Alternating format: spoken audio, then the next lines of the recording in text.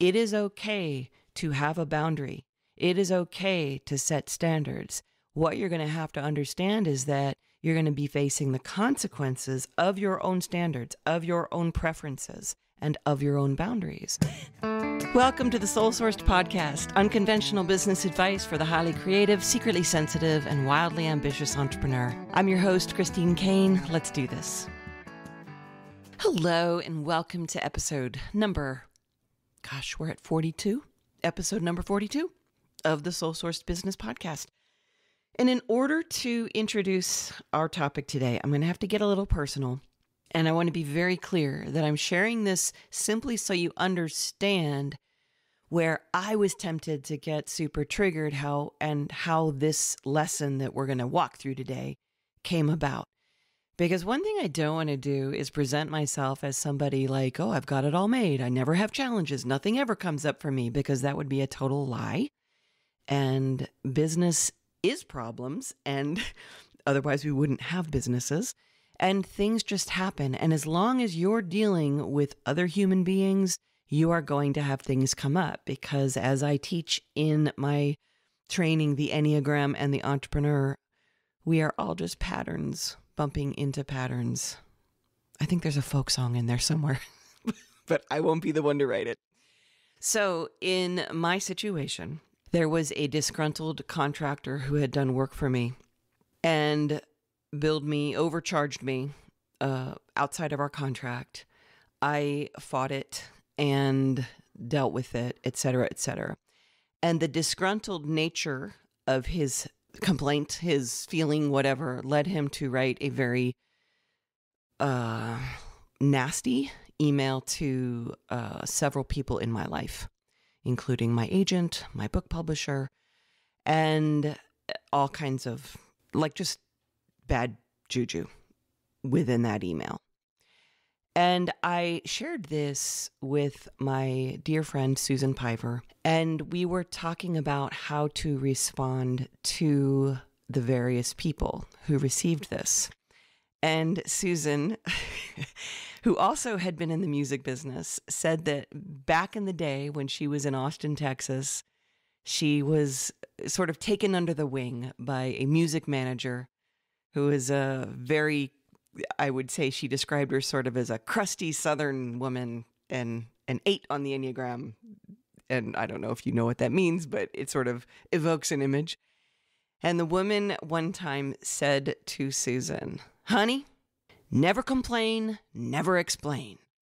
And both Susan and I laughed at that. And what she was saying to me was in my response to hold a level of equanimity. In other words, there are so many ways I could have made this person the bad guy and made me the good guy and explained all the drama that went on in it. And this advice that, you know, was coming from way back in in history of Austin music business helped me recenter myself into a truth that I have known for a long, long time. And that is we rarely get anywhere when we complain, and we rarely get anywhere when we explain. And I'm going to talk a little bit about this because there's two levels that I want to approach this from. And one is the first is the level of just advice and coaching. And the second is the level of energy, which, of course, me being me, is always going to be the most important. So, the idea of never complain, never explain, I have since shared this with so many people. And as soon as I say it, everyone's eyes lights up and they say, "Oh, that's so great. Oh, I love that. It's so true." And the people who resonate most with it tend to be seasoned entrepreneurs, people who have had a business forever and they understand they've gone through that, walked through that fire where they've been the complainer, they've been the explainer, they've wanted their truth to be heard, and they've realized it absolutely serves nobody. And there is something about when you have your own business and you start to realize that when you complain, it get it doesn't get you anywhere. If you go to for instance, let's say you go to an employee and you complain, that isn't going to help them. Being able to give feedback and give it with equanimity, that really can change somebody. And sharing, you know, expectations and results and milestones and measurements, that helps somebody. Feedback helps. Complaining doesn't. And yet, many of us, most of us, spend much of our days complaining and putting really, really, I'm not going to say bad mojo because I just think that's a stupid way of looking at it. I think it's really unproductive language out there. There is a way to share when something's not working without the energy of complaining that goes along with it. And explaining and we've all experienced when a business explains to us, like when something goes really amuck in a customer service and the owner of the business gets on the phone and starts telling you their hard story about how bad things have been since COVID or whatever. You, that doesn't help you. And he's not taking responsibility. And at some level, we all know this.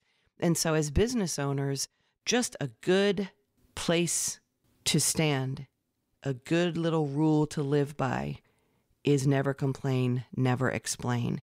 Even if you are right, even if you've done everything you could and this thing happened outside of your power, you just get nowhere by digging yourself into the hole of explaining. And it, it really serves no purpose, especially since, as a leader, which you are, you are claiming full 100% responsibility for everything that happens in your business, in your work, with your employees, with your clients. And I'm not saying you're responsible for your clients and everything, you're responsible to them, of course. But responsibility is not blame. It's really a way of holding yourself. It's really a way of being in a place of power. And I don't mean a place of control where I've got this and I'm, you know, I'm going to kick life's ass. That's not what we're talking about here. We're simply talking about a level of being in charge, of having the ability to, as I talk about in my book, The Soul Sourced Entrepreneur, to interpret every circumstance in a different light than most people would interpret that circumstance. So, to that end, never complain, never explain is a really beautiful way to approach your business and your life. And if I was going to issue a challenge with this episode, I would say to you try it for a week. Try never complain, never explain, and just see what it does for you because you'll see how easy it is to just let your language, your energy, your attention go to what's wrong, what didn't work, why I tried so hard, I did everything I could. And all of that, that way that we move when we aren't being intentional or deliberate or operating from that place of equanimity. And so that is the that's the coaching side of that. That's that mentorship side of it. That's sort of the rule.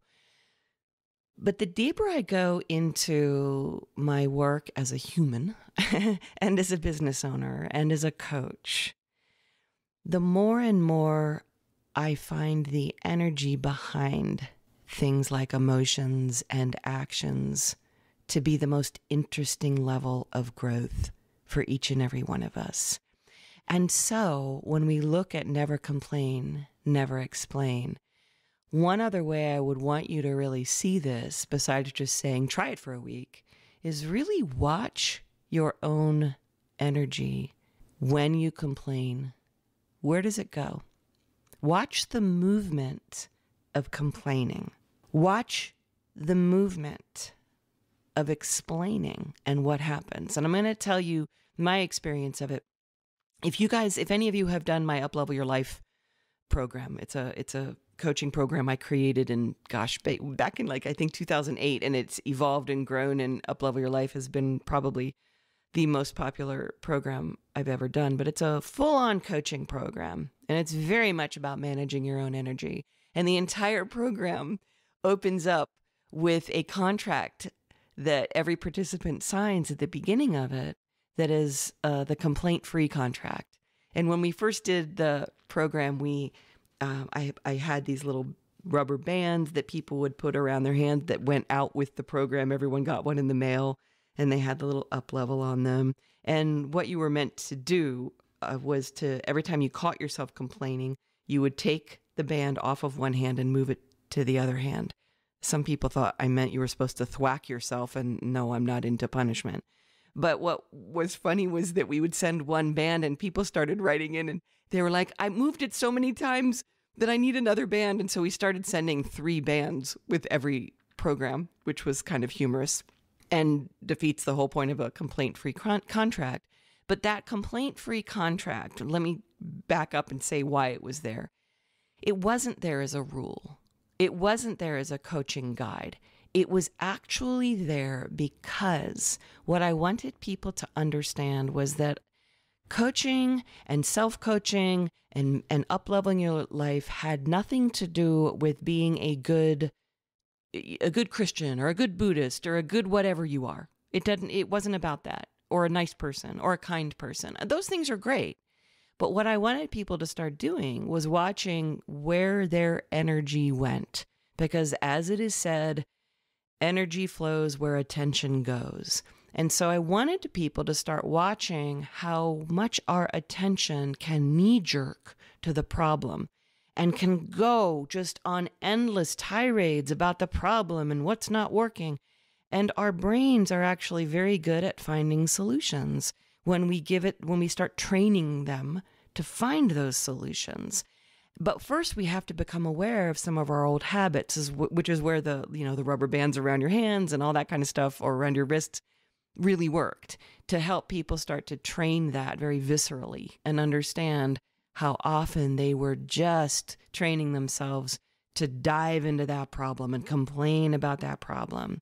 So, with that said, when we look at the energy of complaining, what we're ultimately doing is we are sending our attention, we're sending our energy out into the world of what we think should happen. And so it is a judgment, it is just draining us, and it just sends our energy into places we don't really necessarily find productive in the long run. And like I said, this does not mean you don't go to therapy. This does not mean you don't share what's not working. It does not mean you don't give feedback. It's just you know the difference between when you're giving good feedback or when you're just uh, a shitstorm of bitching. we don't want to do that. So that's one way. Like when you look at the energy of complaining, and even if you just sit quietly and ask yourself, what, what is the energy that happens when I go on a tirade? What is the energy that happens when I when I whine about something that isn't right in my business? Because one thing that you're going to have to understand, I don't care how long you've been in business, and if you've been in business a long time, you get this. In some ways, I look at the fact that I've had a business for as long as I can remember I look at it as, you know what? Everything is the cost of doing business, the cost of having this freedom, of having the financial freedom that I have now, the freedom of being my own boss, of running my own time, comes with almost a you could say like the a tuition so i almost look at it i started doing this when i was a musician i i started saying you know what i'm kind of getting an mba and the way I looked at it was every time I lost money or made a mistake or did something stupid or or an employee, you know, I had one employee like walk away when I was a musician and take my laptop. like just so many bad experiences. But every single experience taught me more and more and more and more about becoming a very powerful, and I don't mean powerful like our you know, power over, I mean powerful within a powerful business owner and someone who can really trust herself.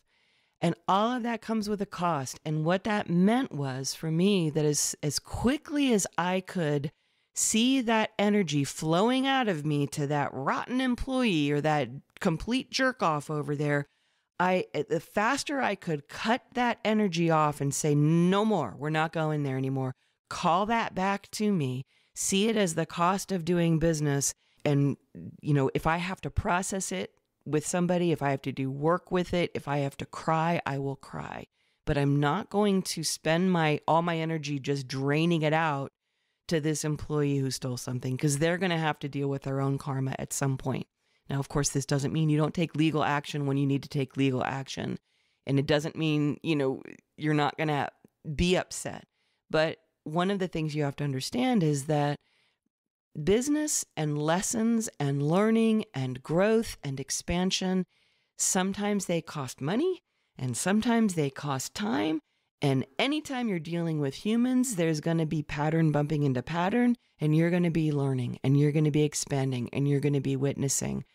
And what you do with these situations is going to be key. And when you spend your time complaining, what you're doing is you're watching your energy basically say, I have no power. I cannot learn. I will not grow. The world sucks and nothing works. And that is not going to be a strong foundation from which to run a business or lead people because you're constantly going to be seeing yourself as victim, as martyr, and not asking yourself, what am I being called to do here? How am I being called to expand here? And again, I know we all have stuff we have to learn and grow and process in business, but that's part of it. And then let's move into the energy of explaining. So, this is the energy of setting boundaries, at least in the way I'm seeing it here. So, what we tend to do when we have businesses at first is that I think we can be so surprised that we even have clients.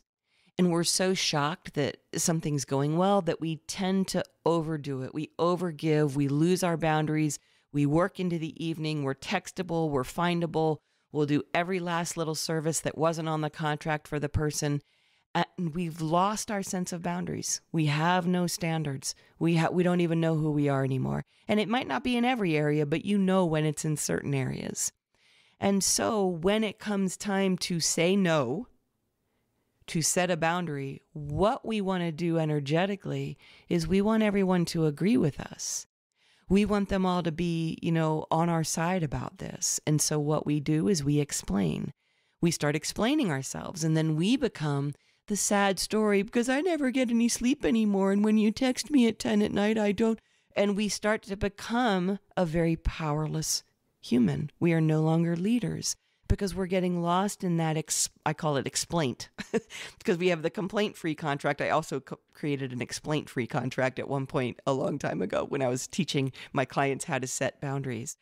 But we we get lost in the energy of explaining again it is a powerless energy and it does not help you as a business owner and it does not serve you. It is okay to have a boundary. It is okay to set standards what you're going to have to understand is that you're going to be facing the consequences of your own standards, of your own preferences, and of your own boundaries. And what the consequences sometimes mean is that some people are going to go away and some people aren't going to like you. And this is where power gets lost. When you begin to explain yourself to people, power gets drained because you're so busy trying to protect their impression of you. And you're spending all your time building yourself back up in their eyes. But when you have boundaries and standards, your their opinion of you is none of your business. And so what we what we do is we explain in order to build ourselves back up and in order to hope we get votes. But when you're a leader and when you're an entrepreneur and when you're a business owner who's doing well, you don't need votes.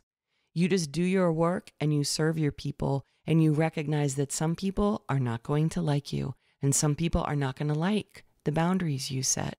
And so never complain, never explain. Really, at the end of the day, is an energetic call to action, meaning I do not let my energy drain out of me in order to prop up people's opinions of me, in order to get some agenda, which usually means hoping people like you, hoping people will pay for you, hoping you won't lose face. And I stand clearly in my power and I and I really really am careful with the use of my attention and the use of my energy. And I'm going to tell you that this is not a one-time kind of moment of work this is a lifetime of work because as many times as I have up leveled my own energy at this point, as you can see, since I brought up a, a recent situation, I still have to go through this. And it's almost like every time you up level, the universe comes back with like another thing that's unresolved from from your past, from your energy, whatever it might be, and says, "Hey, are you sure you really resolved this one? Because we're going to make it a little bit harder. We're going to twist it a little bit differently." And you're going to have one more reason that you might have to explain yourself. You're going to have one more reason why it might be, you know, okay to complain. And what you're constantly doing is asking yourself, can I trust my path? Can I trust my business? Can I trust that I am being called to expand in all these many ways? And so, with that, I'm going to leave you with that. Never complain, never explain. Thanks to Susan Piver and her music manager mentor. And I'm also going to ask you that if you guys wouldn't mind, please put a little rating of this podcast. And if you feel so compelled, I would love it if you would leave a review, write a little review. It always helps. And uh, I'd be most grateful. I love reading them. It really helps me in terms of content. And in the meantime, thank you so much for listening week after week. I'm very, very grateful. And I love hearing from some of you who have written me to say, I take notes on your podcasts. I listen three and four times. I love this. I'm glad it's helping because it's it's stuff, it's that unnameable stuff that most people don't talk about when they're so busy talking about the strategy of business. It's all these little energetic things that are really operating the show. And the clearer you get, the better your business gets. Thanks, you guys, for listening. I'll see you next week. And if life is a dance, a work of art, or just a dream, then there's always the chance of getting